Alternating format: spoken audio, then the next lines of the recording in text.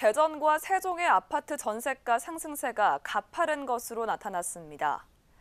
한국부동산원에 따르면 11월 둘째 주 전국의 아파트 전세가 변동률은 0.11%로 대부분 전주와 비슷한 수준을 보인 가운데 대전과 세종은 각각 0.29%, 0.28%로 전국에서 가장 높은 상승률을 기록했습니다.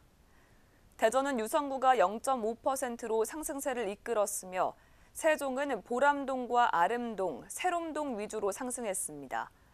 두 지역 모두 전세 수요를 감당할 물량 부족 등으로 상승세가 당분간 이어질 것으로 분석됩니다.